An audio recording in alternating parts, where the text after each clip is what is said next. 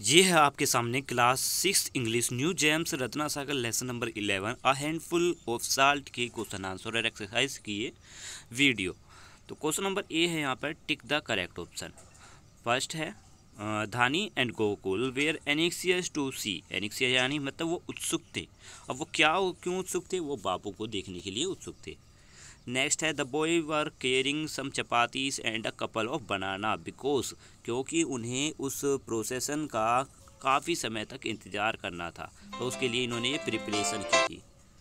Next है question number three Gokul's father did not want Dhani and Gokul to undertake the march because because उनके father ये सोचते थे कि ये मार्च यानी ये जो जुलूस है, ये छोटे बच्चों के लिए बिल्कुल भी नहीं है, क्योंकि इसमें बहुत ज़्यादा चलना पड़ेगा।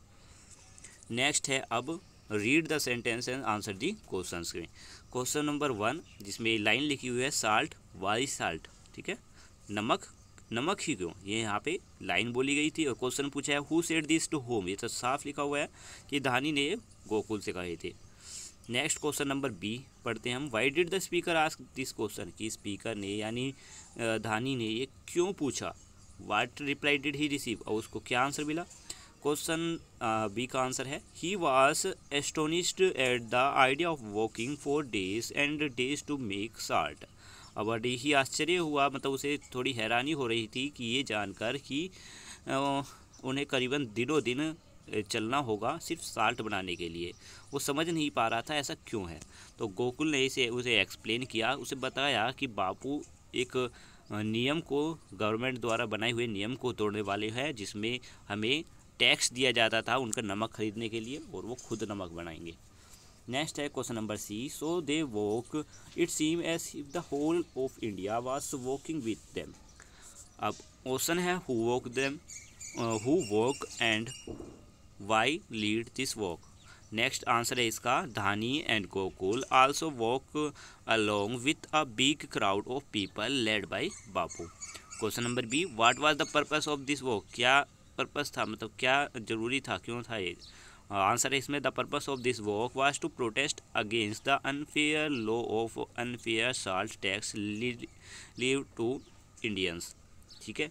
तो यहाँ पे उस लॉ का, उस नियम का जो बनाया हुआ था गवर्नमेंट ने, उसका विरोध करना था, जिसमें इन्हें नमक के ऊपर टैक्स देना पड़ता था।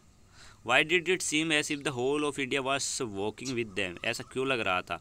इसमें आंसर है इसमें कि it seems that the whole India was walking because they were there was a huge crowd consisting of people of old ages who were following him ठीक है? यहाँ पर इसलिए लग रहा था, यहाँ पर सभी में यहाँ पे बहुत ज़्यादा भीड़ थी मतलब बहुत सारे लोग इस जुलूस में सम्मिलित हो रहे थे। जहाँ जिस जिस गाँव से जा रहे थे, सभी इनके जुलूस में सम्मिलित हो रहे थे। और ओल्ड एजिस के मतलब सभी उम्र के, चाहे छोटे हों, बड़े हों या बूढ़े हों, सभी इनके जुलूस में शामिल हो रहे थे। इसलिए ऐसा लग रहा था जैसे पूरे इंडिया चल रहा है। क्वेश्चन नंबर सी है आंसर दी क्वेश्चन में। First question what was the law regarding salt मतलब उस साल्ट का क्या लो था हमें? ठीक है? तो लो क्या बनाया हुआ था गवर्नमेंट ने? The law was that India was not allowed to make their own salt ठीक है? तो मतलब ये था कि इंडिया अपना नमक खुद नहीं बना सकते।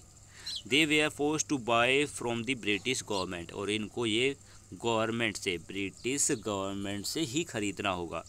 Next moreover even the poorest peasants had to pay a salt tax to the government यहाँ तक जो सबसे गरीब किसान लोग हैं, उन्हें भी इस नमक का टैक्स गवर्नमेंट को देना पड़ता था। तो ये इनका रूल था, ठीक है? ये लॉ बनाया हुआ था। Question number second describe Gandhi ji as the boy saw him कि जब गांधी जी को उन बच्चों ने देखा तो उन्होंने किस तरीके से उन्हें देखा और उन्हें कैसे लगे गांधी जी धानी वा Dhani saw that Bapu ji had a small face and a bald head अब यहाँ पे धानी ने जब बापू जी को देखा तो उसे लगा कि मतलब उसने देखा कि जो बापू जी हैं, उनका एक छोटा सा चेहरा है और सिर पर बिल्कुल भी बाल नहीं है, यानी वो गंजे हैं।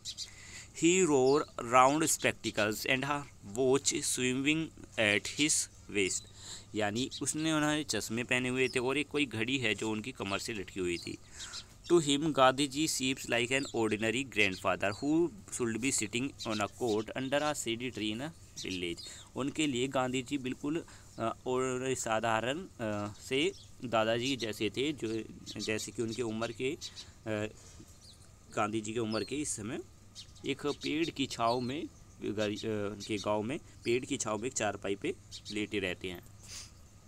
नेक्स्ट है question number three how should sorry how long did the man estimate it would take Gandhi ji to reach Dandi अब लिखा हुआ है इसमें आंसर कि मतलब कितना uh, देखो चलो आंसर पढ़ते हैं यहाँ पे। The man estimate that the walk from Sabarmati to Ahmedabad to Dandi on the Bombay coastline will take about three और फोर वीक ये साधारण सी बात है कि कितना समय लगाया हुआ था। मतलब लोगों ने अंदाज़ा लगाया कि सबरमती से दांडी तक पहुँचने में करीबन थ्री टू फोर वीक्स लग जाएँगे कम से कम।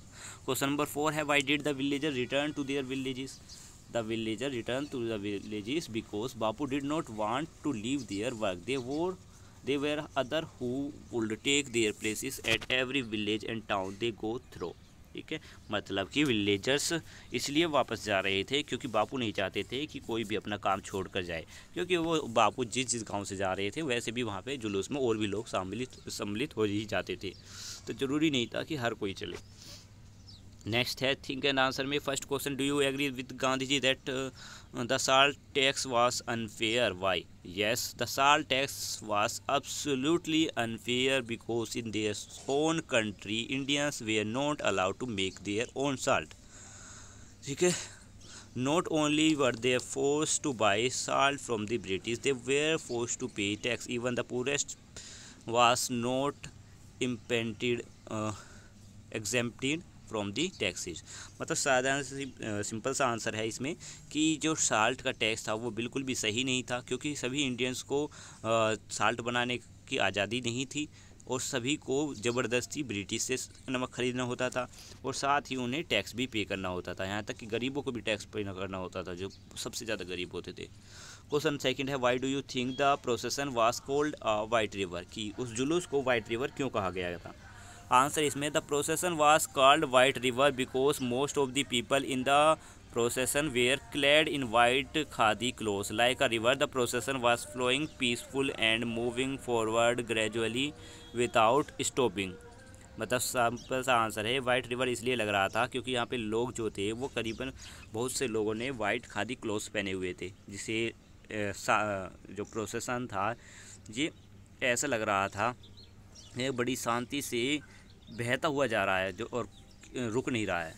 क्वेश्चन नंबर थर्ड है he is clever is not he our Bapu? Do you agree with this statement ठीक है तो यहाँ पे आंसर है yes Bapu had a brilliant idea nothing could have the course of people more than uniting the nation by making salt and breaking the law together he was not only going to defy the salt law he was going to convey the displeasure of the whole country to the British government in this manner he was leading the long march to freedom यानी इसमें सब कुछ बताया गया है कि कैसे उन्होंने लोगों को एक करने के लिए, साल्ट बनाने के लिए लोगों को थोड़ा था, ठीक है?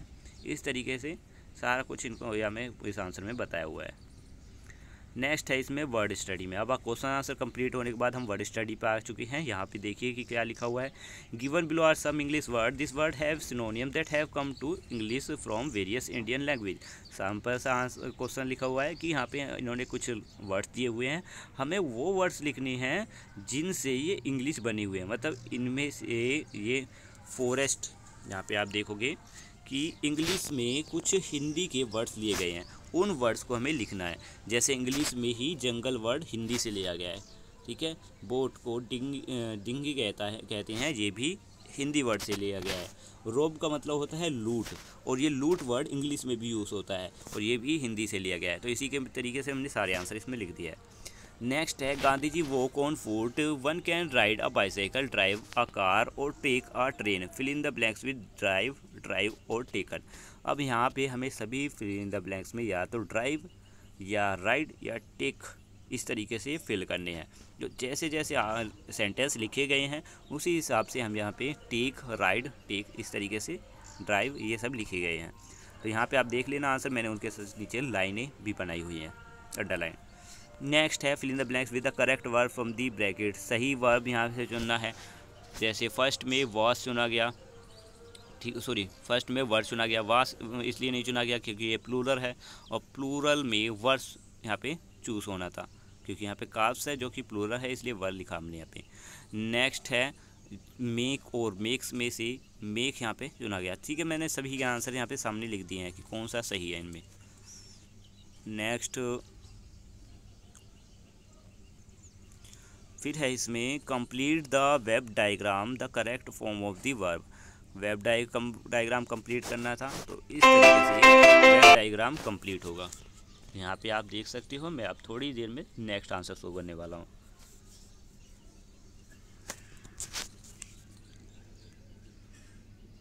ओके, नेक्स्ट है। ये पिक्चर्स दी हुई होंगी आपकी बुक में, ठीक है? इन पिक्चर्स को देखते हुए अब हमें आंसर्स फिल करने हैं। आंसर क्वेश्चन क्वेश्चन के आंसर देने हैं। जैसे यहाँ पे लिखा हुआ है, Sarita Dwivedi live in dash Sita Dwivedi की कहाँ रहती थी? फतेहपुर में।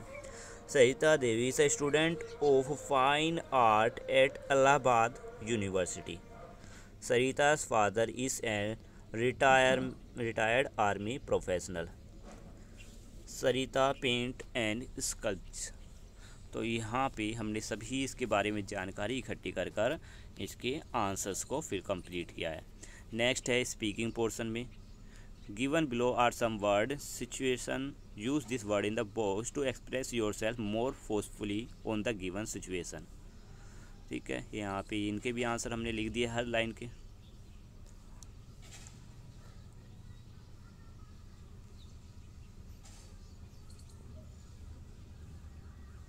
नेक्स्ट है राइटिंग पोर्सन में imagine you are Dhani write a diary entry diary entry for the day you saw Gandhi ji and march with him part of the way to make salt you can begin like this ठीक है? अब यहाँ पे हमें क्या है? एक diary entry करनी है और शुरुआत के लिए इन्होंने थोड़ा सा क्लू भी दिया हुआ है। और आगे हमें कंप्लीट करना है। तो यही यहाँ पे हमने थोड़ा सा इसमें से ही लिया है और फिर बाकी की लाइनें यहाँ से नीचे कंप्लीट कर दी हैं और ये डायरी एंट्री इसी तरीके से कंप्लीट हो जाएगी आपकी। मैं धीरे धीरे इसको भी शो करता हूँ।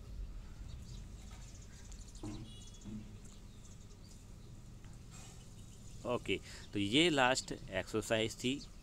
इस लास्ट क्वेश्चन था इस वीडियो का।